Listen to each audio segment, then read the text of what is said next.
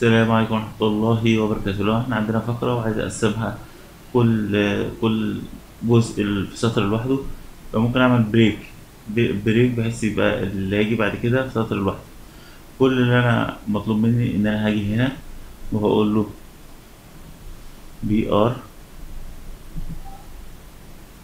واقول له control S أجي هنا دوس خمسة هتلاقي إن ده بقى في سطر وده سطر.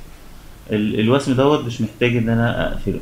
ال HTML مش محتاج إن أنا اقفله بس في ال XHTML أو في ال XML بحتاج إن أنا أعدي مسافة واديله إشارة مايلة كأن أنا بقفله. هتلاقي إن مش هيحصل فرق خالص كأنك انت ده وده الاتنين سواء. خلينا أقول هنا BR control S وأجي انزل خمسة هتلاقي ده في سطر وده في سطر. ديت زي دي بالظبط.